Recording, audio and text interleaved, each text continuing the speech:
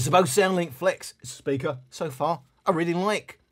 But this could be the biggest test of all time because you've said, eh, right, we're seeing it against uh, cheaper speakers. It's not it? Not a big deal, is it? £149.50 quid and it won that one. What about similarly priced portable speakers? So, about $149, £149. Then we've got the Marshall Emberton. $129 is actually a bit cheaper. £129, $149. So a bit cheaper in the UK, about the same in the USA. Mini Rig Mark III. Can't see it at the moment in uh, US Amazon, but it's about £139 in the UK. So all about £140, $140 mark. All portable speakers. Is this the, the moment that we... Ah, the Bose sound. Oh, it's overpriced, isn't it, Bose? What do you expect? Oh. So how do they compare? On paper. On paper, that's a proper. This is not about gassing M4 40 watts. Probably peak of the peak. This is a real 40 watt speaker. We're guessing 20 watts, and that is a 20 watt speaker. So it's looking good at this point for the Mini Rig Mark III. Also, note, very different form factor. Cylindrical. What does that mean?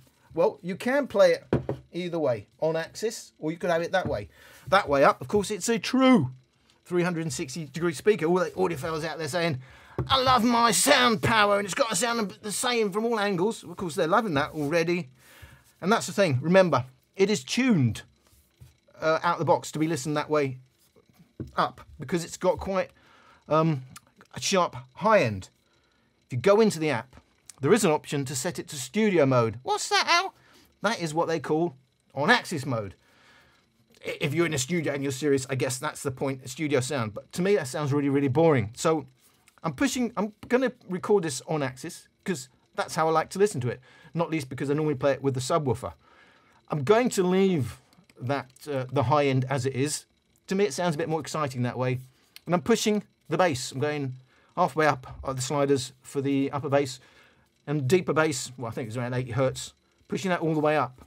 That's how we're going to be comparing the Mini Rig Mark III. Just remember though, you've got loads of options, not least you can play it with a separate subwoofer that Mini Rig do, and that will transform it.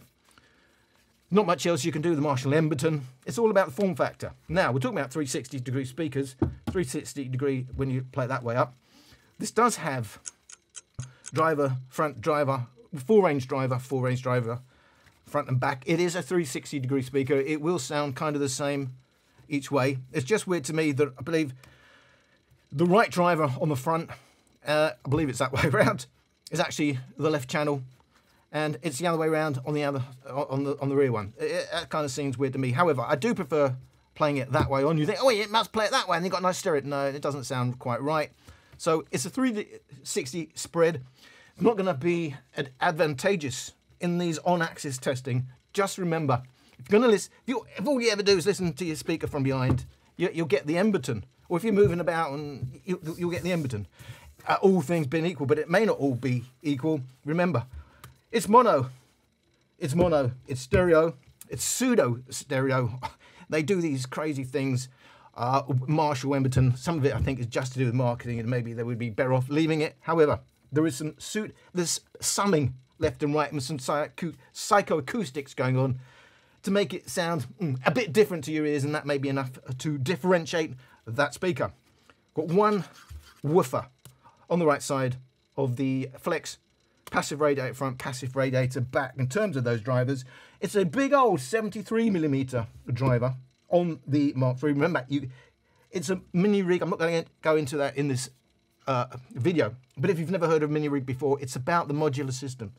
Part of the price you pay is to have the the possibilities of what you can do with that modular system. They do a mini, and they do the subs and you can daisy chain and all sorts of fancy things. You can these how these play seriously a wired and they have a high gain low gain mode which you can select with its on off button.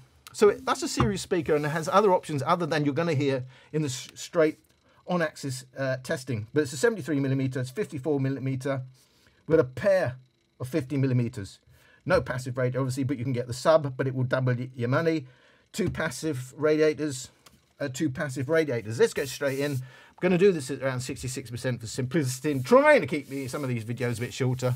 where I've already done a serious review. If you go back to my original SoundLink Flex video, you'll hear it low, medium, and max volume. In this one, for now, I'm going to do maximum volume also in the end of this video. But in between the uh, the moderate listening and the high volume listening, if, we, if we're going to call that high volume, around 65% all three speakers, but normalized and loudness match. Watch for the volume. I've actually recorded these out, which actually I might as well tell you now before we go on. Matching the volumes uh, means the 40 watt speaker is 60%, 65%. We're already at 80%, bear that in mind. But of course, it's at a disadvantage because one driver is firing backwards and I'm recording, listening on axis. That's the point of this test. Have a listen. Ya vi que estás aquí, tan cerquita de mí, y me hacía falta, porque la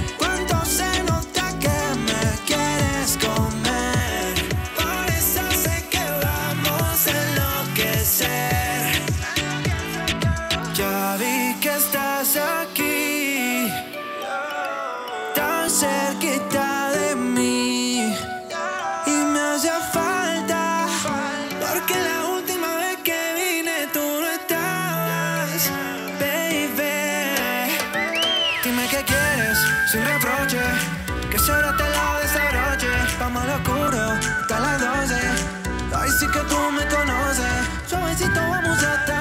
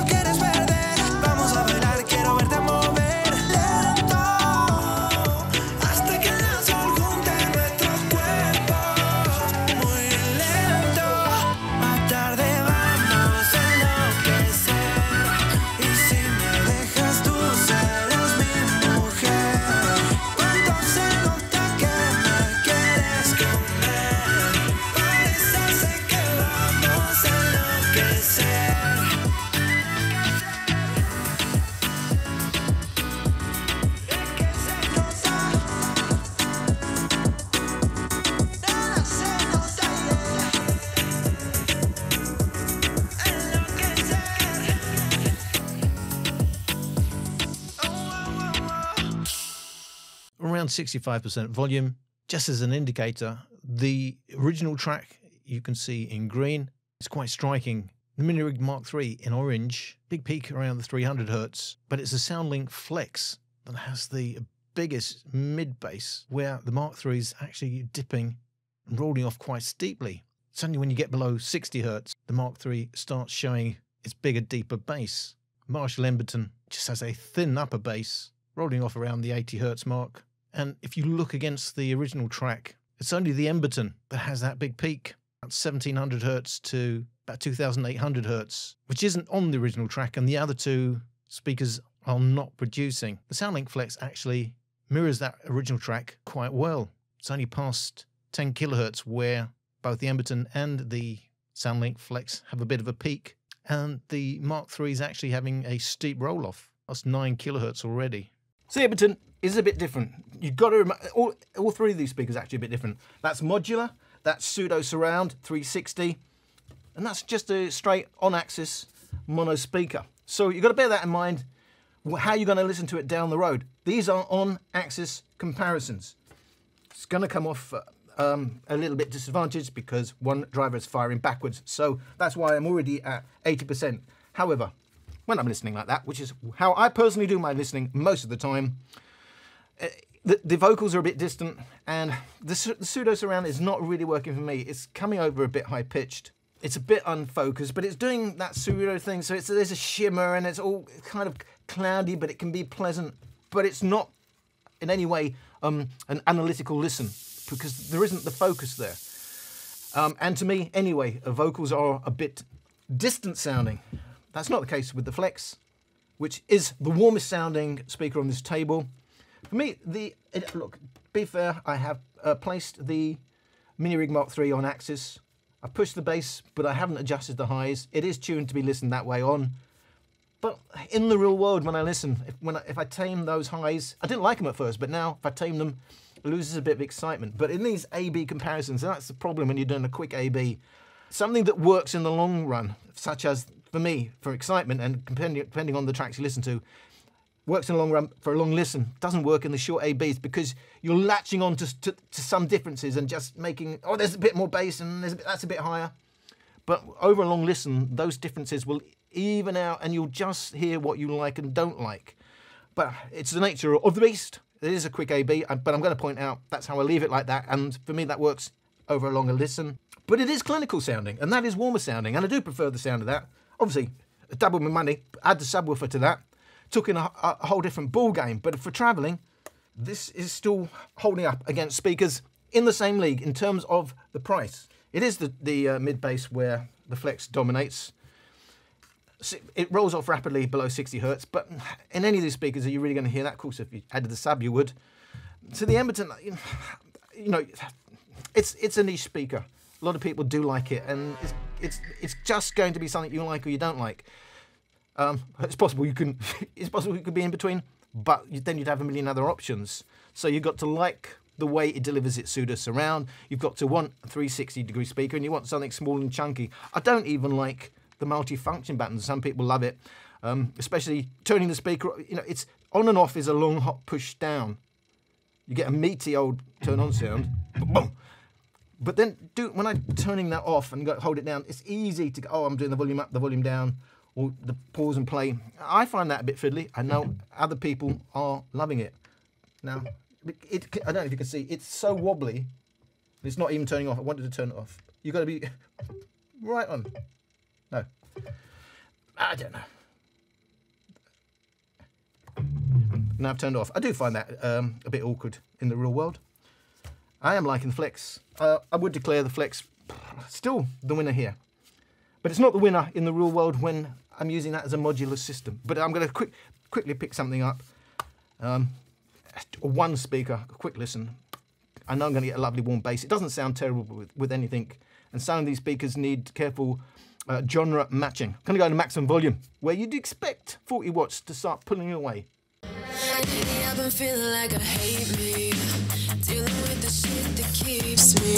Awake. Things have gotten hazy. If only I could find an easy escape. It's all a mess what I've got inside. I make up my mind, but I'm terrified. Everything about it scares me.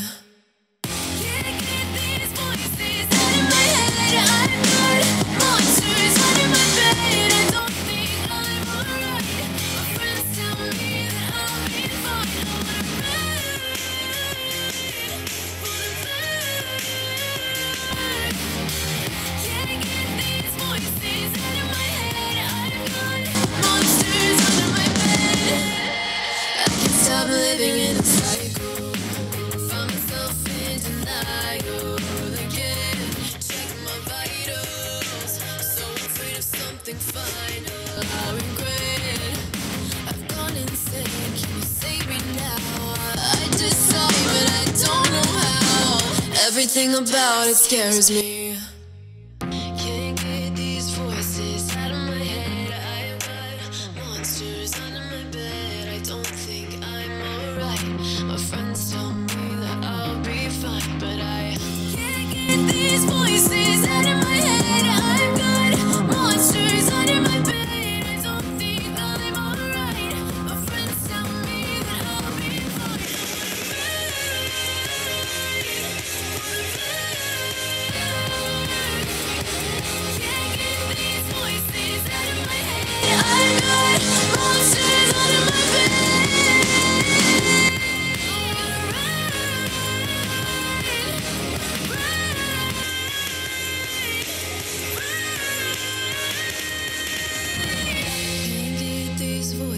out of my head. I've got monsters under my bed. So Mini Rig Mark III by far the loudest.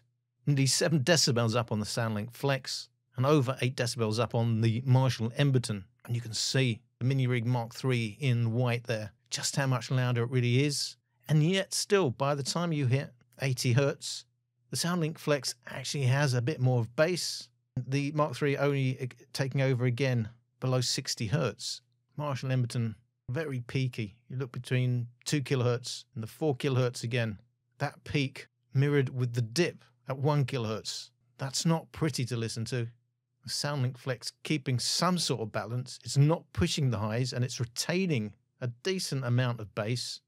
Even now, it's still at maximum volume, has the most mid bass of these three speakers. It just doesn't have the ultimate headroom of the Mini Rig Mark III.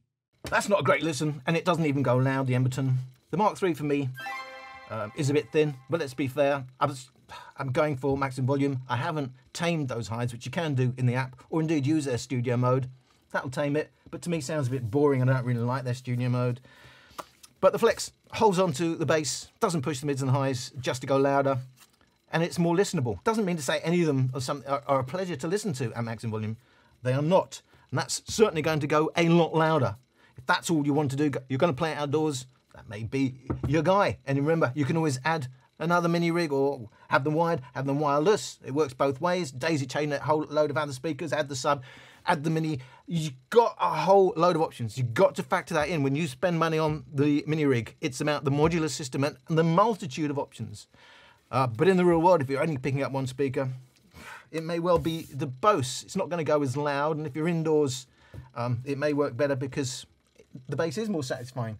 Only when we get below that 60, the 60 hertz mark does the mini rig, as usual, come in. That's where it's at its weakest spot in deep bass. But of course, you've got enough mid bass and upper bass uh, to keep you going. In terms of mid bass, I mean, it's not that far off the Mark III. The Mark III wins with the upper bass and the deeper bass.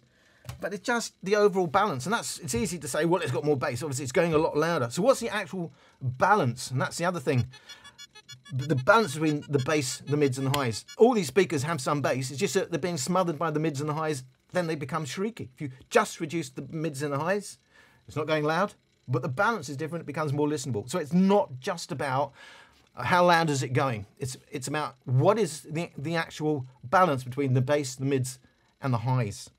So, is there anything I've forgotten to tell you?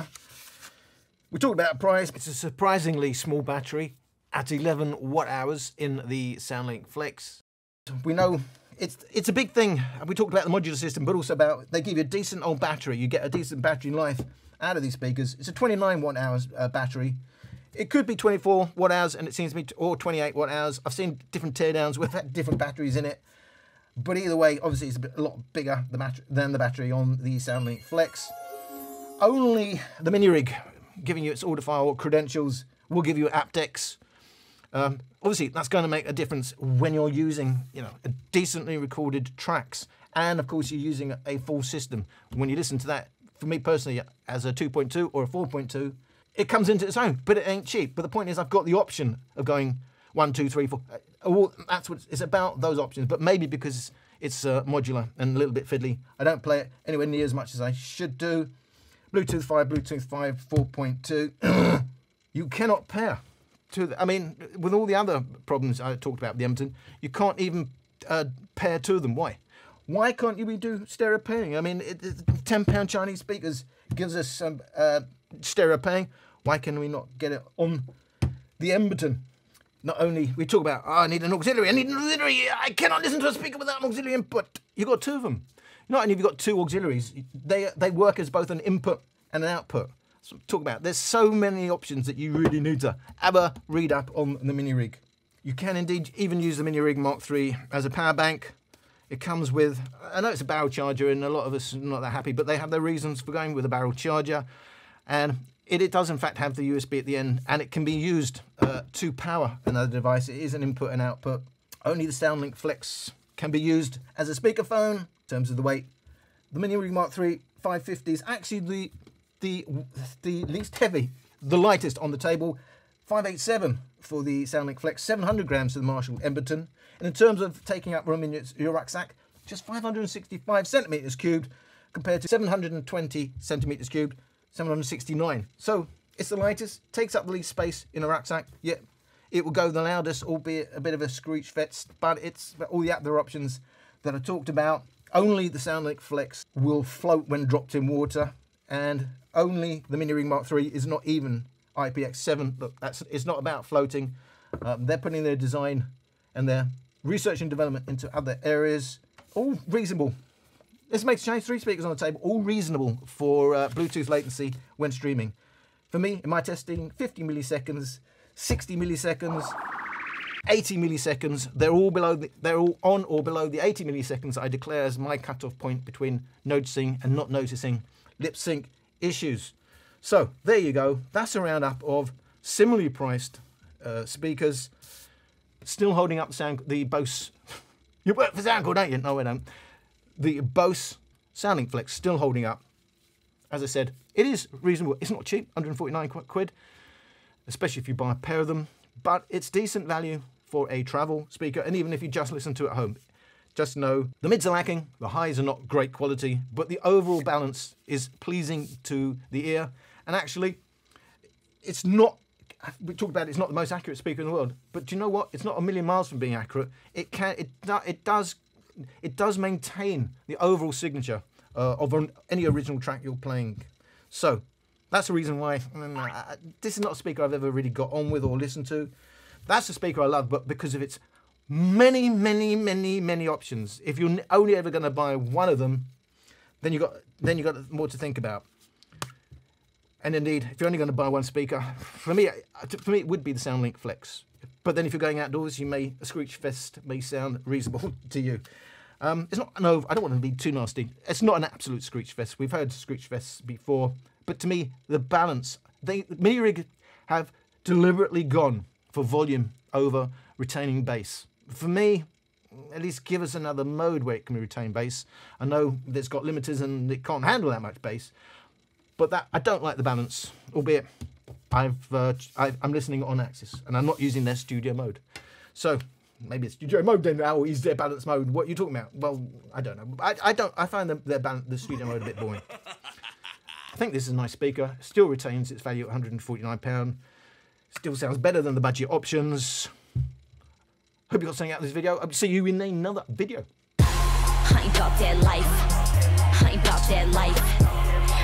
Project wife, got my logic right, cause I'm not your type. I ain't about that life. I ain't about that life. Sorry, ma, I ain't get it right. I'ma just live my life. I ain't about that. I ain't about that life. Uh.